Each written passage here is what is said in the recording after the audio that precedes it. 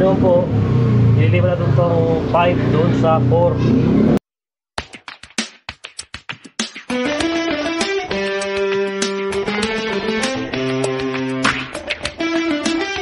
Yan naman po, ililipat natin itong 5 doon sa 4.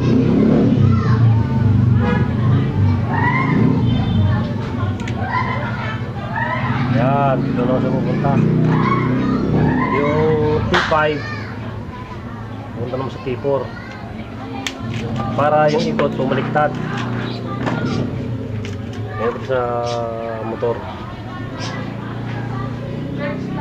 Yung 1, ay, ito na pala, nakaka nakaayos na. Ginawa ko na pala. so, ayun na rin po ng tape. Yung 4 tsaka 5 sila na yung magkasama. Yan. Testingin po natin.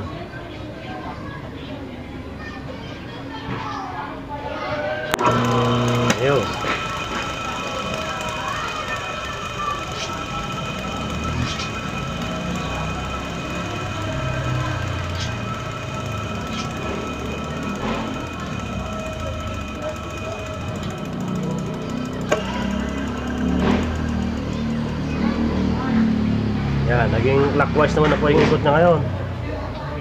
Hindi na siya counterclockwise, naging clockwise na.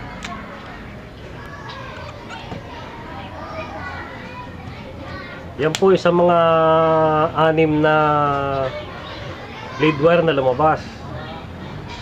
Yan pong connection na yan. Ginawa, ginawa natin 3 wires. Kaya kung halimbawa pong gagawin nyo ng control, mas madali na. Ito lang po yung pagdilipatin yung gano'n, no? Ayan, yung 5. Papunta sa 4, tapos 5 papunta sa 1. Di ba kung gagawin natin yung control yan, madali na. Ito lang yung gagalawin natin, gaganong-ganon lang siya, oh.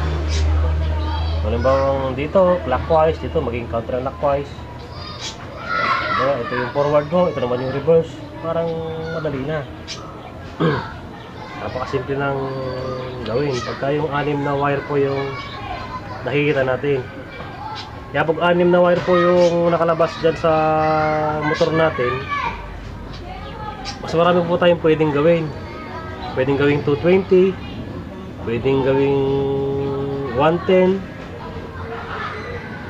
pwedeng baliktaran 220 man o 110 pwede nating reverse forward ang ikot